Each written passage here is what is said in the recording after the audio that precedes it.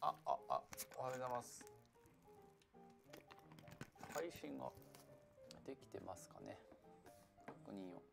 今日はねなんか竜王戦のね1組出場者決定戦やってるみたいですよ。渡辺明名人と広瀬、えー、八段の。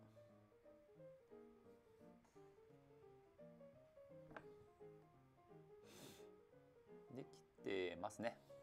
というわけで音も出てますね。たまにね音出てなかったりするんだよな。やっちゃうんだよな。えー、今日もセロテープでペタペタしていきます。ペタペタ。あのー、昨日タブレットのバッテリー変えようかとかって話して一応アップルアップルに問い合わせて、まあ、結局できないってことが判明したんですけどあのー、バッテリー交換してる間 iPad 使えなくなるのが怖いですよね。あのその日のうちにできればいいですけど多分それにはならないですよね。何日かお預かりになると思うんで。その間楽譜見れなくなるって結構結構嫌ですね。結構嫌だなとか思って。楽譜ここのタブレットにいっぱい貼ってるんで。仕事の楽譜とかは僕紙ベースでやることが多いんで問題ないんですけど。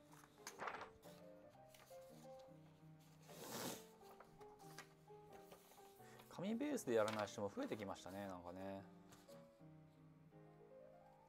どうしてもね紙ベースでやっちゃうんですよね。なんかやっぱりあのでかいから紙が。A4 用紙よりやっぱりちっちゃいところがやっぱりないんでね。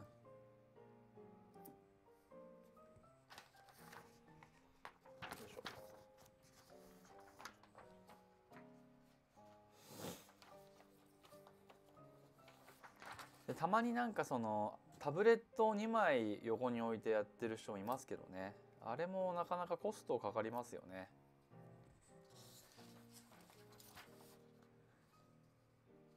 多分20万ぐらいするんじゃないですか。あのタブレット1個10万安くても10万ぐらい。あいや10万じゃないか。今123万するか。一番安くて容量少ないやつとかでも。とかすると思うんで。なかなかシビアですよね。今日ねちょっと少ないんですよ曲。ペタペタ終わりました。すぐ終わった。今日のペタペタはすぐ終わりました。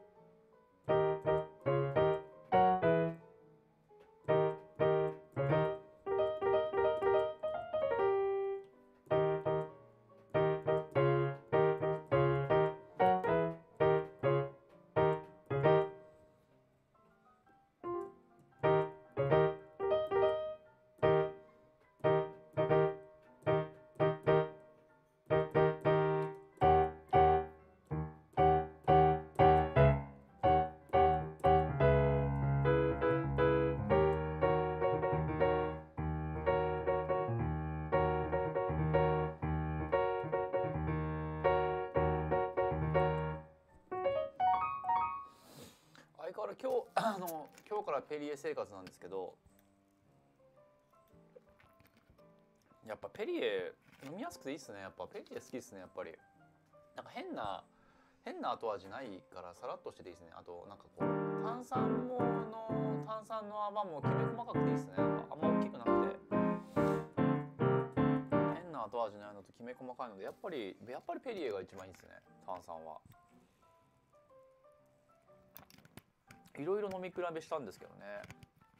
なんかやっぱ後味とか炭酸の大きさとかきめ細かさとかで。やっぱペリエが僕は好きですね。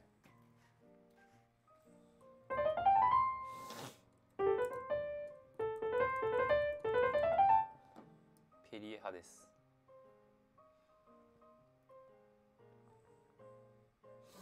えー、っと。うんとたくさん曲を弾きたいんで。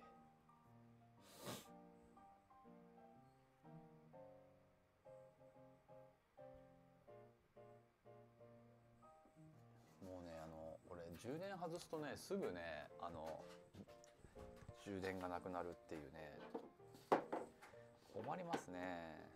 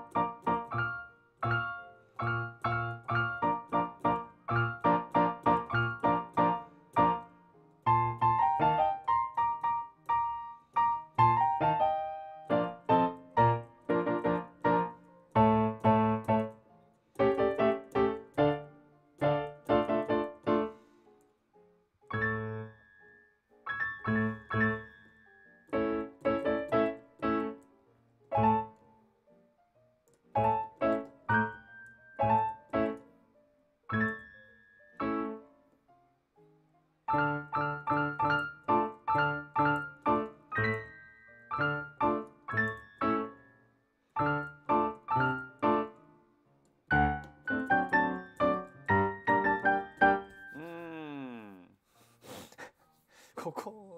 すぐいつも覚えられないな。ここが覚えられないですね。ここがね全然覚えられない。ペタペタはねあの楽譜のペタペタはもう終わっちゃいましたね。楽譜のペタペタはすぐ終わったんだけどな。あとアーティキュレーション全然守ってないんですよね。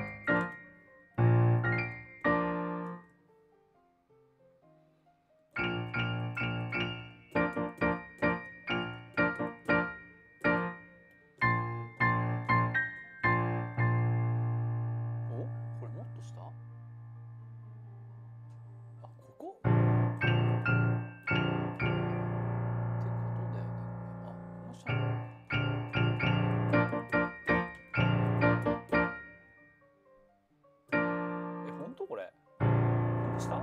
マジで？でもそうなってるな。オッターバスターがついてるね。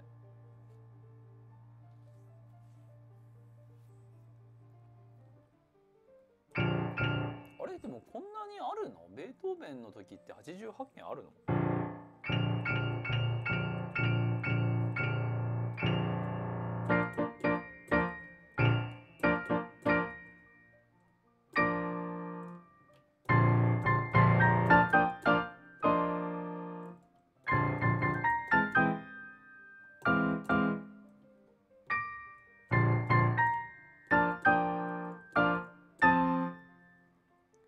はこっちか。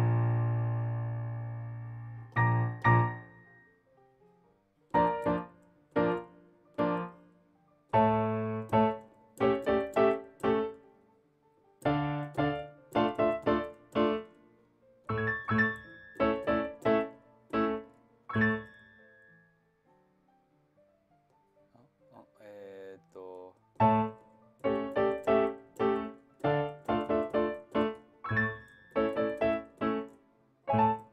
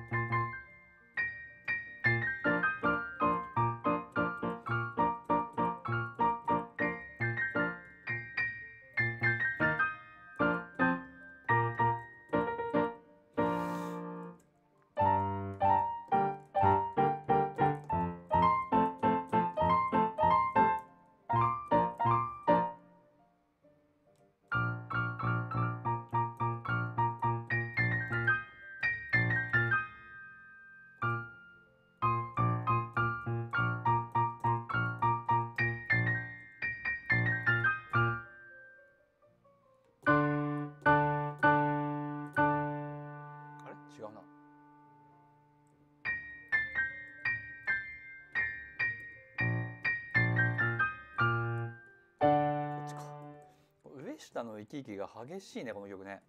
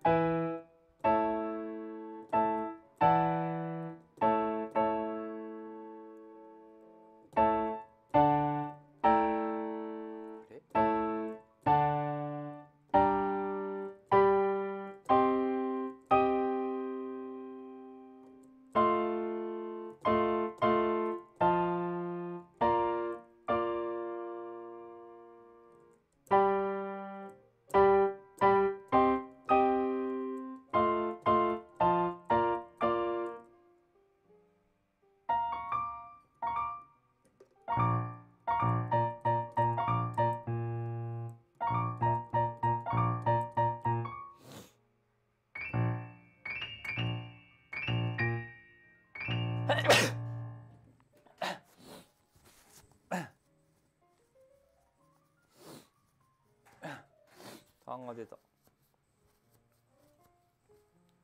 っぱヒノキちょっとあんのかなやっぱり。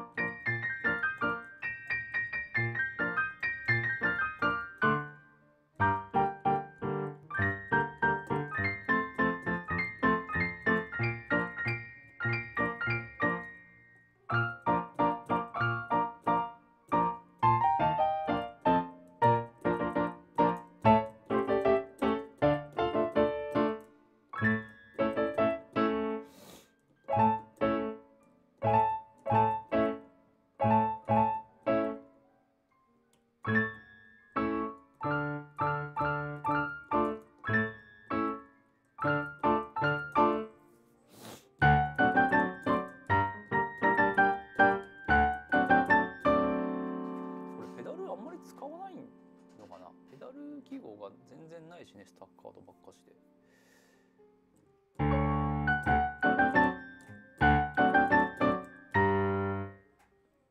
使わないの？使わなさそうだよなんか。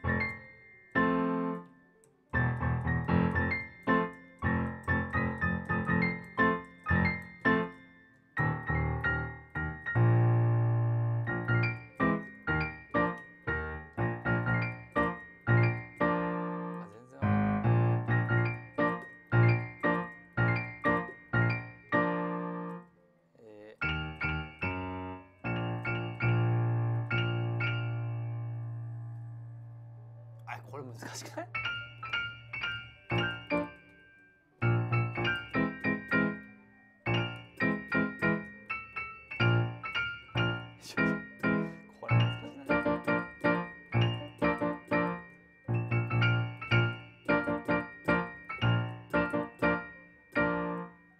これこっちか。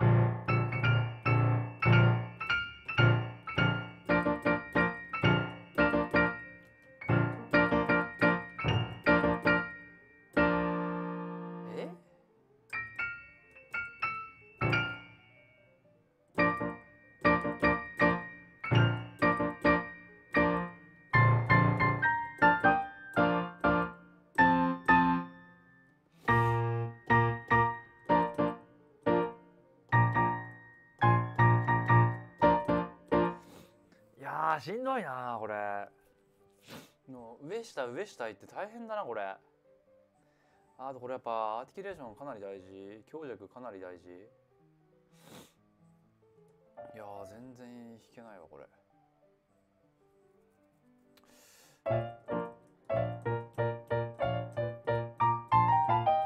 ちょっとごまかしながらでも弾けるようにな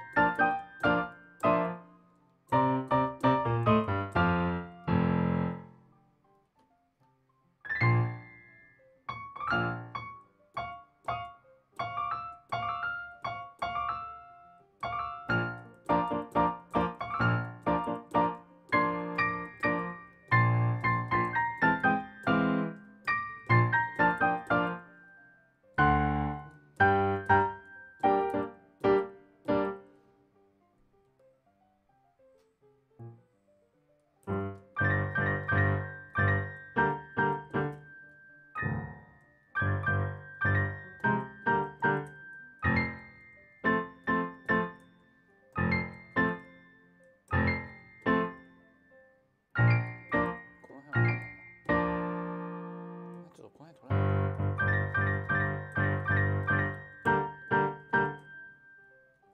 全然わかんない。全然全然わかんない。この辺全然取れない。惜しい。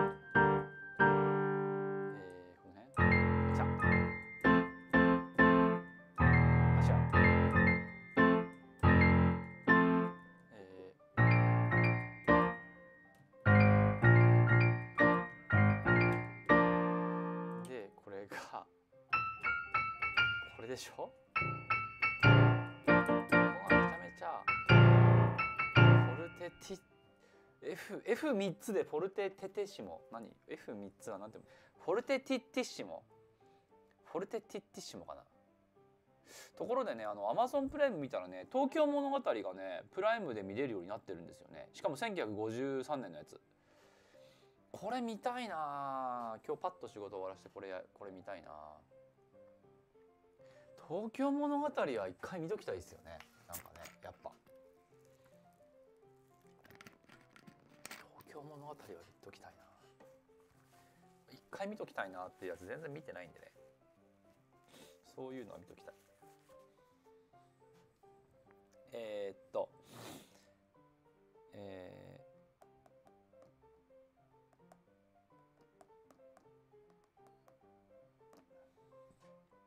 フォルテティッシッシモだってフォルテフォルテッシモ。フォルテッシモか。フォルテッシモフォルテあれ？フォルテッシモ。フォルフォルフォルテッシモにフォルテフォルティッシッシモ。フォルティッシッシモ。難しいな。フォルテッシモ。フォルテフォルテッシモ。フォルティテッシモ。フォルティッシッシモ。読みにくい。あのなんかこういうのあの英語で昔覚えましたよね。三段活用ね。なんかなんか三段活用的なあの過去形過去分詞みたいなね。なんかややった気がしますなんか。フォルフォルテフォルテッシモフォルフォルテティッシモ。フォルティフォルティッシモ。フォルティッシッシモ。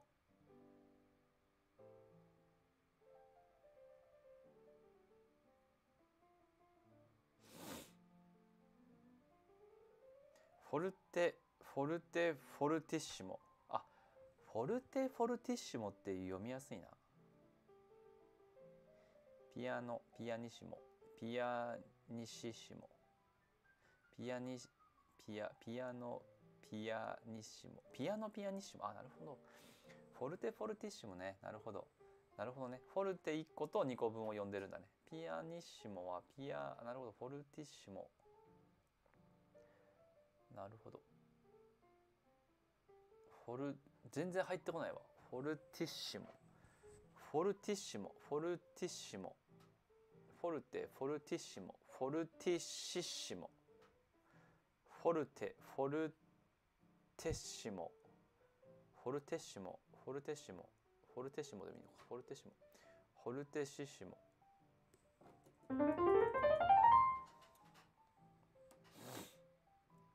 ピアニッシモピアニシッシモ。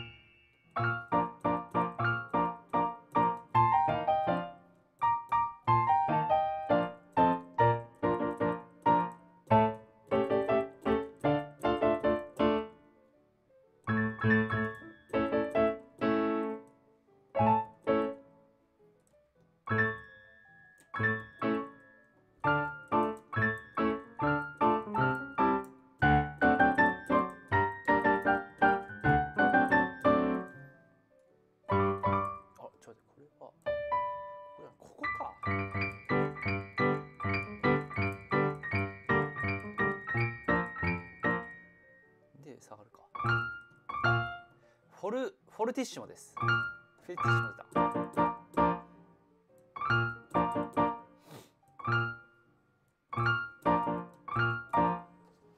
全然弾けない。よく考えたらこれあれだ。これ楽譜出してもいいから出そう。これね楽譜出してもいいんで出しとこうと。iPad えー、この曲を今月の課題曲。この曲を。今月の課題曲にしてしちゃおうもやっぱね毎日練習しないとダメですね。本当にやらないとすぐダメになりますね。やっぱりね毎日の練習は大事ですね。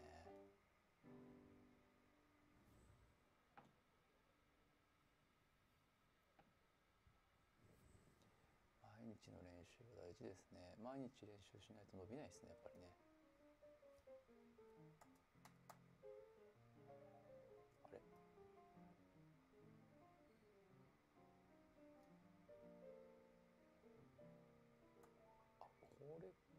こともできるんだへえ。よいしょ。よいしょ。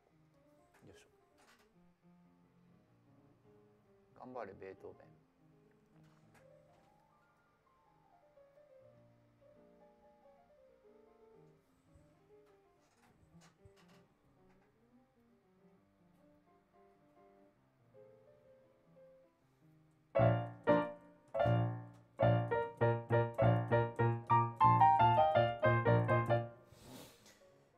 金なんでね。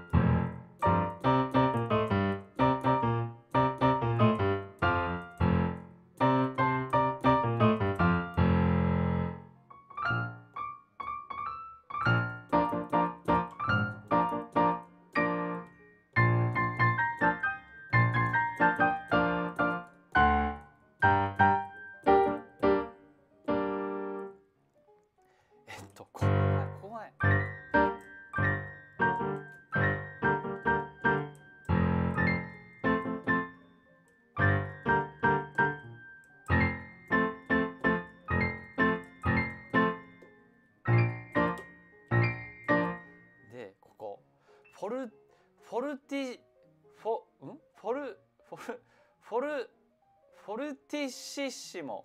フォルティシッシモですね。フォルティッシモじゃない。フォルティシッシモ。フォルティシッシモが来た。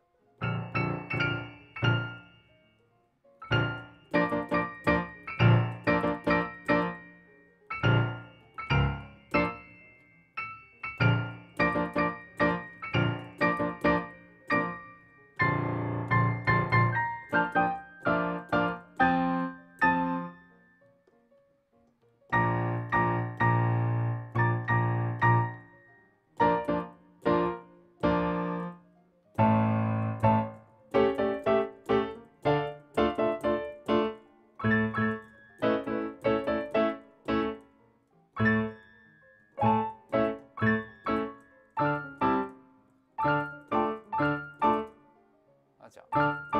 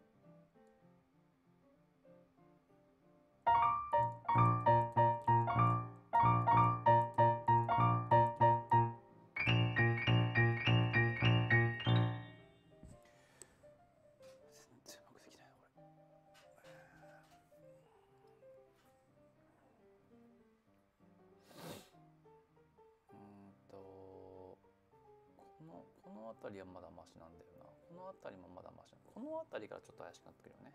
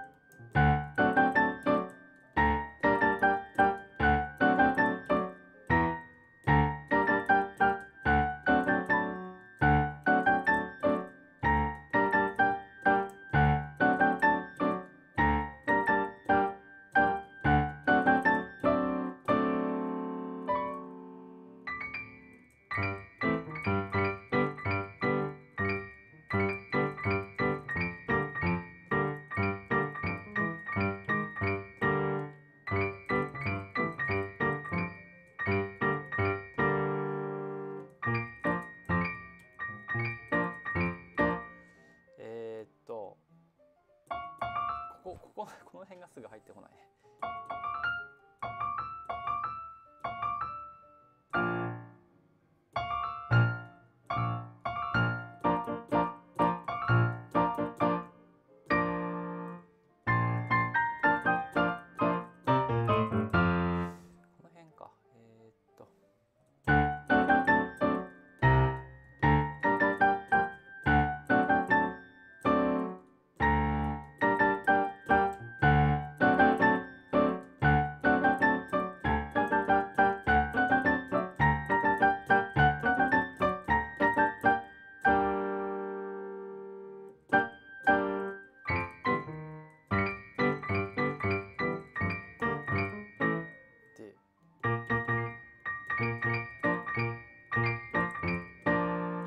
あーじ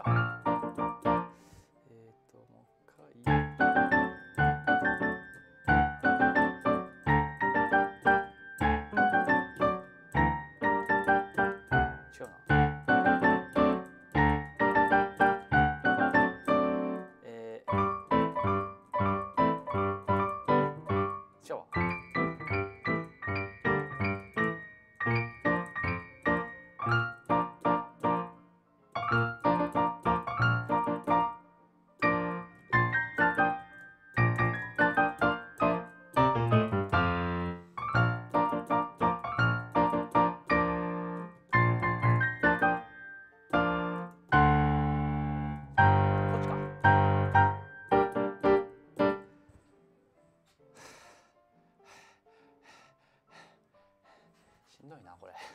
ちょっとしんどいね。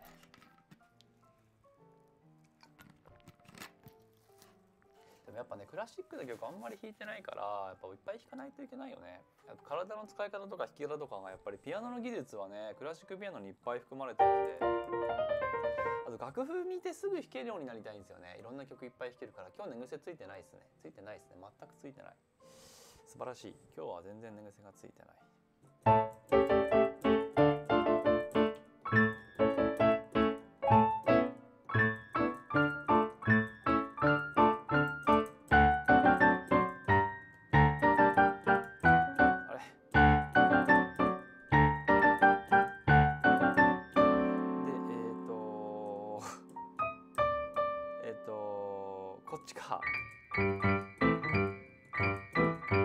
上下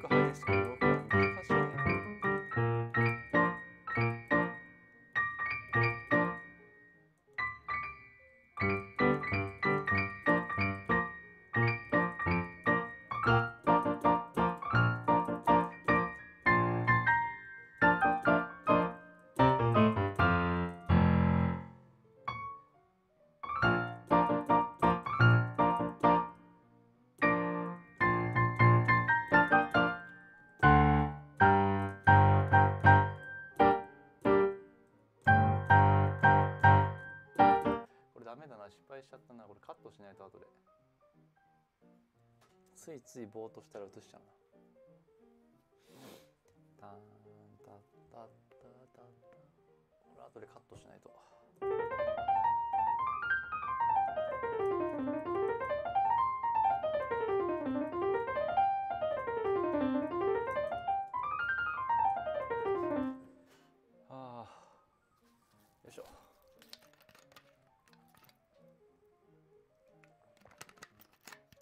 してあるとそれ間違えちゃうね。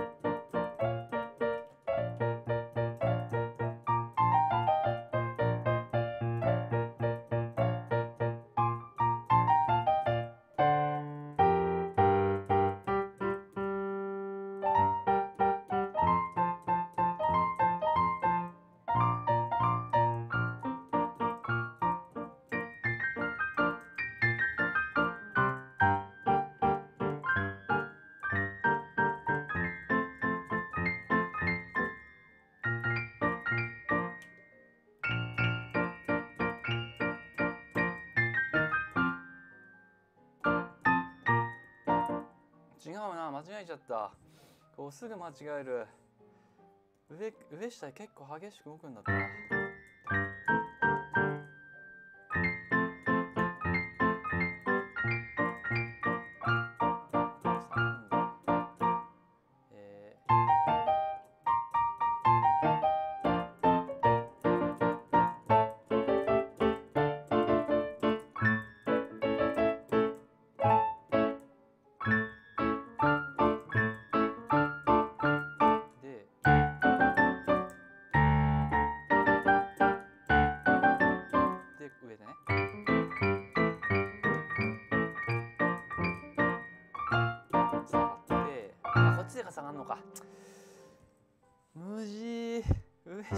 下激しくてむずい。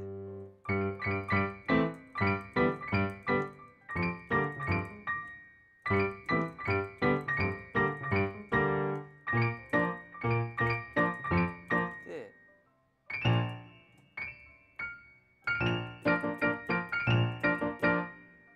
違う違う違う下がるんだ。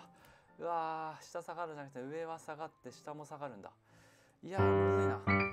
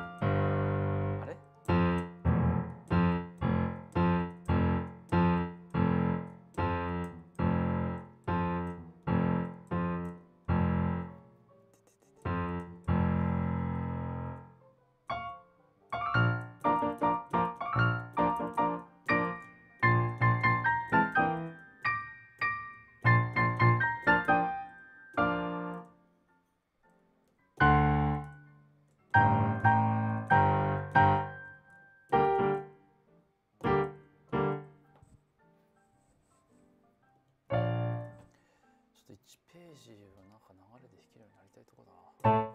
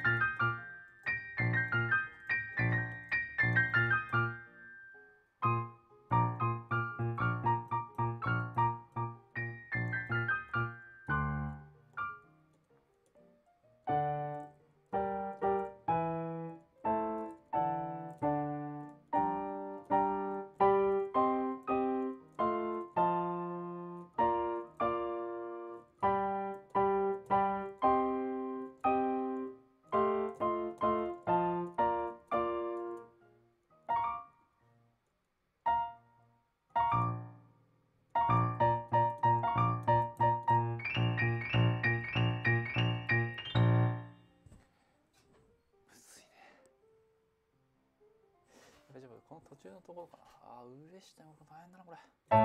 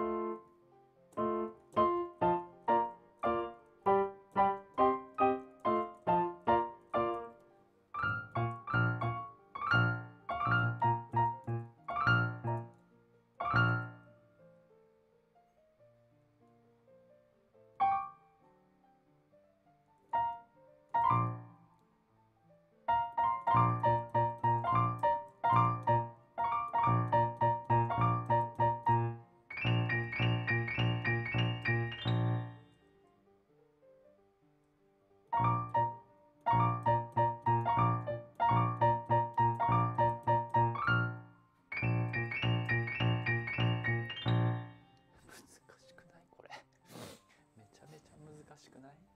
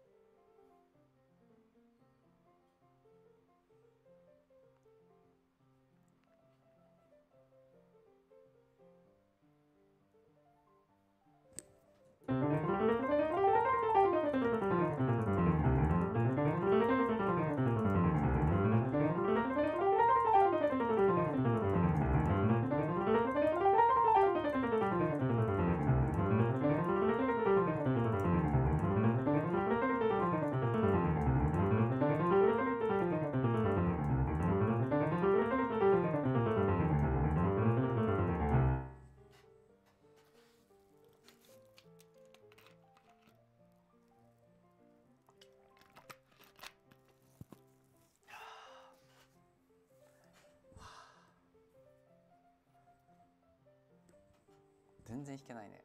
こういうのなんかあのパッとやってあのなんかリハなんか初見とかでもそれなりに弾いてね一回リハ合わせたらもう本番できるみたいな人になりたいです。まあ普通できるんでしょうけどね。プロのクラシックの人だったらこれぐらいはもうなんか初見でパッていけそうですけど。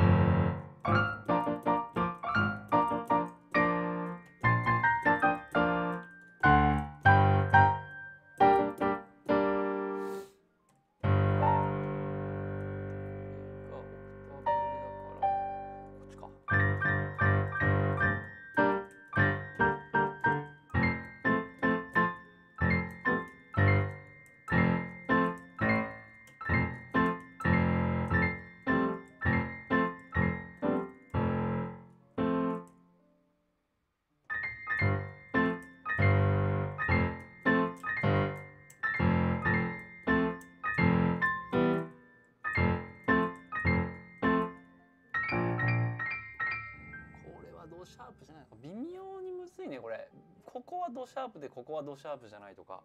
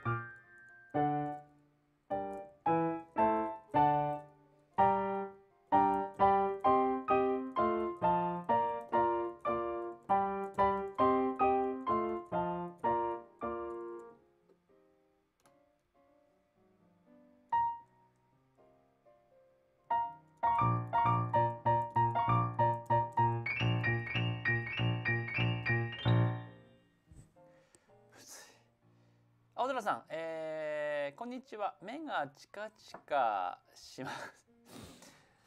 ねちょっとね音符が多いですよね。ちょっとこれめっちゃ難しいこれ。ちびっこでも弾くらしいですよ。ちびっこ簡単バージョンはあるらしいんですけどオリジナルはこれでした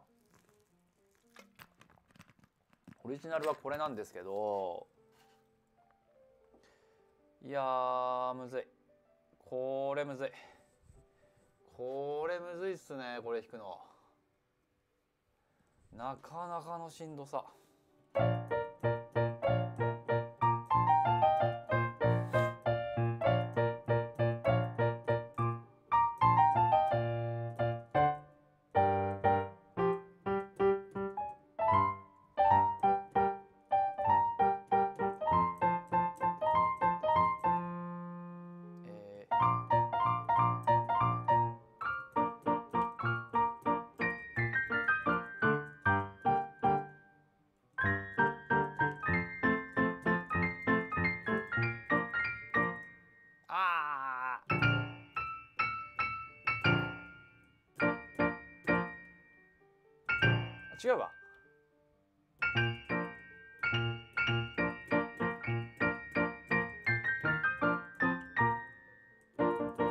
違うなこれ下がるんだ。ダメだなオッターバをねほんと見逃す。オッターバがちょっと見逃す。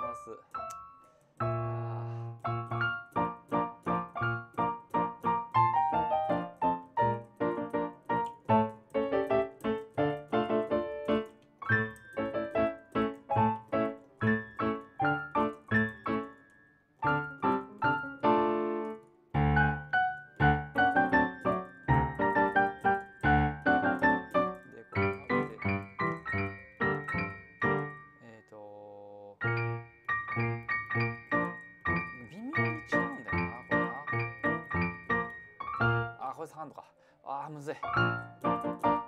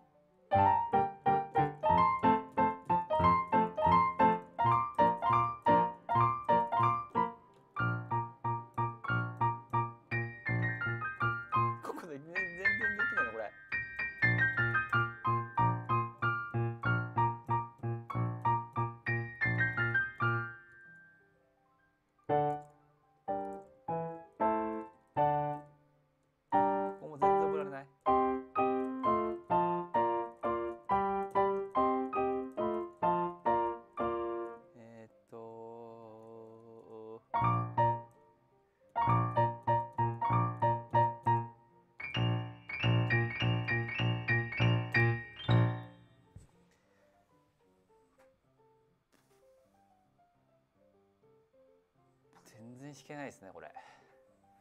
全然弾けないですねこれ。全然弾けないですね。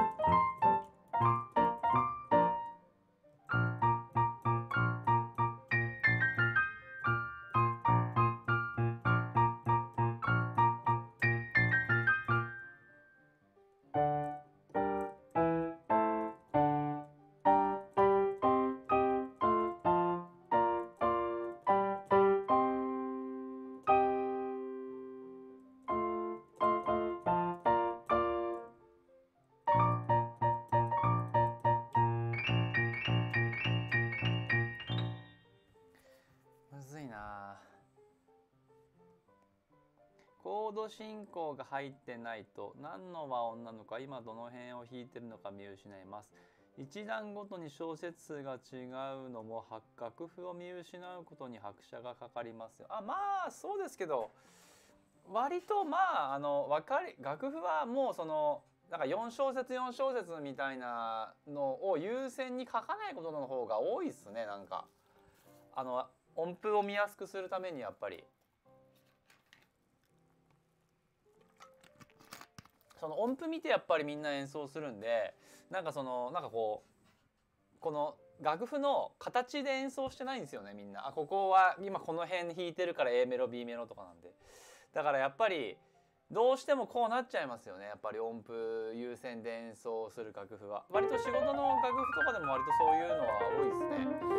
あの4小節ごとに区切らないとかあのやっぱりその小節で区切っちゃったり A メロ B メロで区切っちゃったりすると逆に音符の方が見にくくなるんで音符を読まないようなやつは別にいいんですけどなんか弾き語りの人が自分で楽譜書くみたいなやつで見やすくしようとかはいいんですけどまあ音符とか書かないといけないやつになるとやっぱりどうしてもこういうのになっちゃいますね。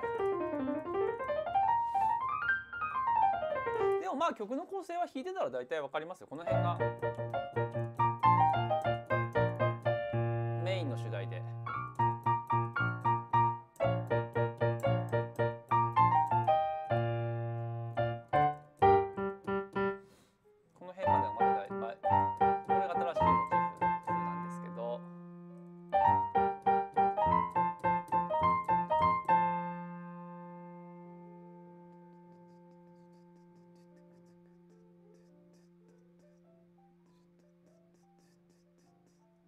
ああなるほど。最初のモチーフのこれのこれのこれの発展これこれを変えたのか。でこれをそれを繰り返してまだ戻ってますね。これ収支形作ってあまたまた言ってるのか。すぐ言ってる次はあのちょっと騒がしいバー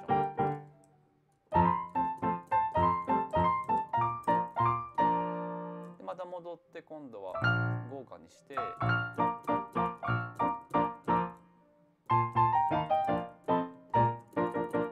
でここで A 部分が終わりですよね。で次が。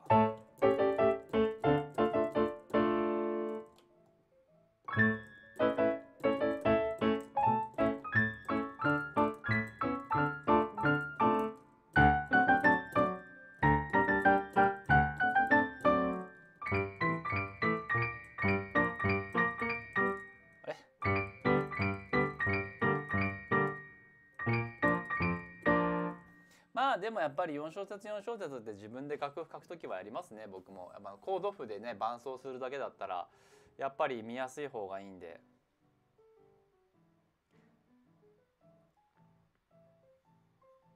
まあなるべく音符書くところは音符を優先することが多いんですけどね。クラシック音の指定が絶対なので音符の見やすさが優先されるのはまあしょうがない。まあ確かにねしょうがないですよね。どうしても。あの A メロ B メロやっぱ書いてないですからねクラシックの楽譜って。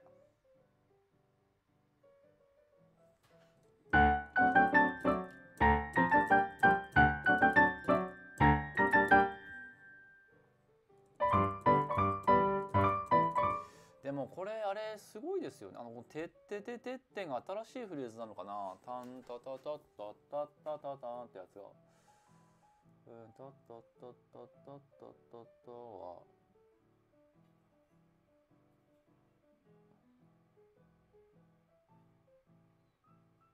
そんな感じもしなくもない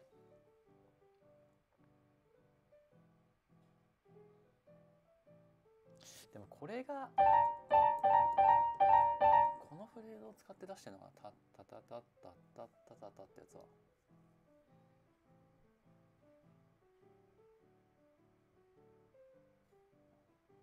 だからここで連続してるような気もするよね。タラランタンタラランタンタラランタンタラランタンタンタララッタッタンタラランっていうのはタンタタタあここでここで出てきてますもんね。ダンダダダッタってやつか。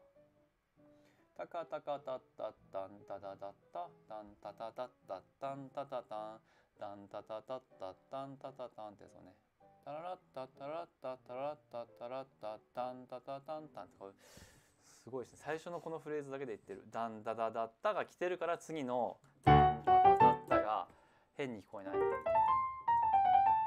ここで次の B, B に行ってるわけですけどね。でまた戻ってきてこれすごいね。でもこれやっぱりねベートーベンやっぱすごいね。あのそんな複雑なモチーフで作ってないんですねこれは、まあ、だからちょっとキャッチーなんでしょうね。あの複雑なモチーフでそんな作ってないけどでも見事な展開ですよね。本当に。やっぱベートーベンすごいですね。まあ当たり前当たり前ですけど。ベートーベンすごいな。すごいですね。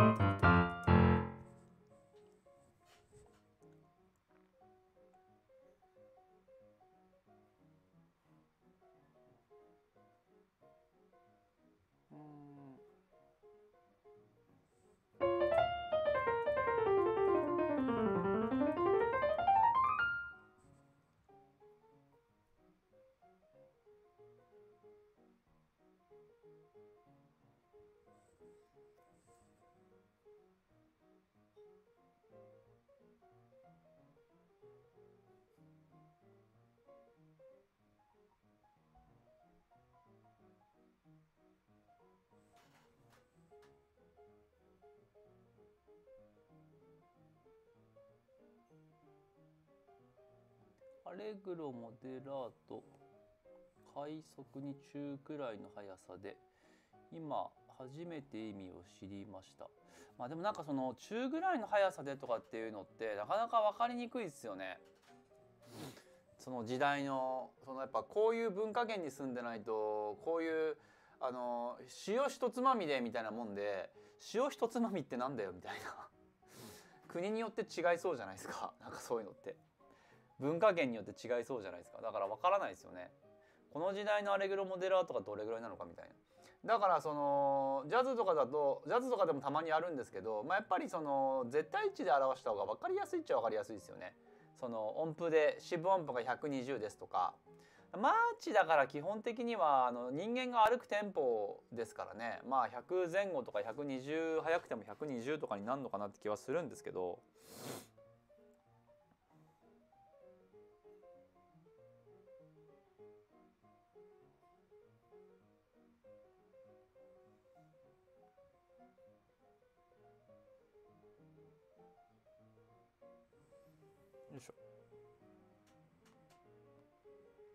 なんかあのニュースであの花粉症対策を指示って出てて おおとかってちょっと思いました。ちょっとね今年はねあ花粉症の経済損失が高いんだって。個人消費が抑制。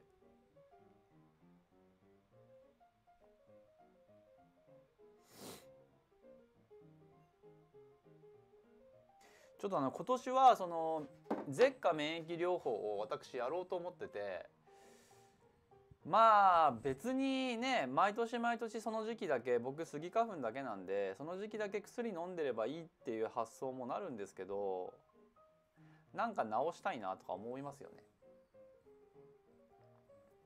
今年はやろうかなと思ってます。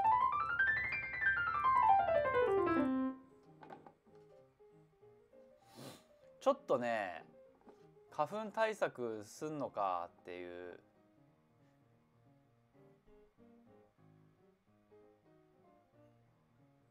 まあどうするんですかね。杉を一応これなんだ。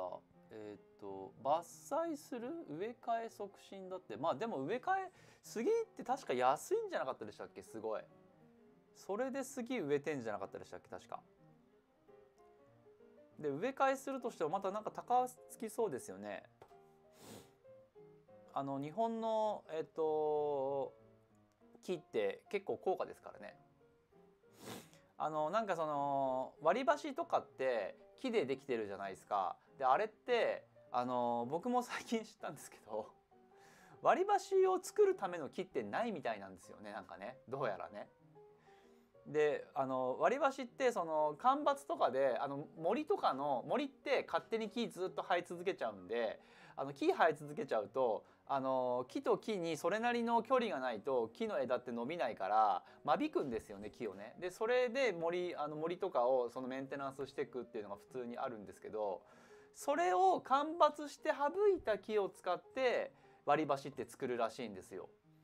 なのでもともと捨てる木をあの割り箸にしてるから割り箸って結構その捨てるものをもったいないからって一応あのビジネスに少しでもなればってことで割り箸をにに当ててるらしいんですよね。でそれで買ったお金でまたその森のメンテナンスに使えるんであのすごくあの循環してるんですよね割り箸って実は。なんですけどあの輸入されてるあの輸入材って結構安いらしくて日本の木より。日本では割と輸入材の方の売り上げが高いらしいんですよね。なのであのメイドインジャパンの割り箸買うといいよねっていうあのそんなお話でした 意外と意外意外と SDGs 的なものらしいですよ割り箸ってで、えっと、それはいいんですけど、えっと、まあ、杉の、杉の木とかもね、伐採して割り箸とかにしちゃうんでしょうね、きっとね。しちゃえばね。話は変わりましたが。青空さん、えっと、花粉症にかかった人には10万。本当ね、本当ね。本当それ。本当それ。それめっちゃわかる。花粉症ってもうあのほらなんか上杉あの林野庁がどっかが植植えすぎたのがそもそもの原因ですよねずっと植え続けて杉杉ばっかしだからあの本当ねあの給付出してほしいですよね花粉症の人にはマジでそれ思いますねでも今その舌下免疫療法もあの保険が効くようになってあの昔はなんか年間20万ぐらいとかいう噂だったんですけど今はもう23万ぐらいにあのなったらしいですね月2 3 0 0 0円の薬代だけで済むようになったっていう噂なんで。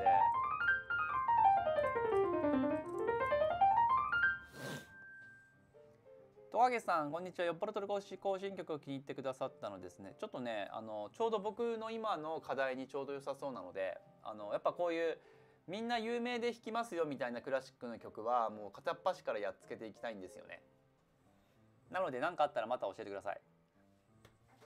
というわけで本日はそんな感じにしたいと思います。素敵な一日をお過ごしくださいませ。バイバイ。これねカットしないといけないな。失敗しちゃったな。ではでは。あれ？これ外そう。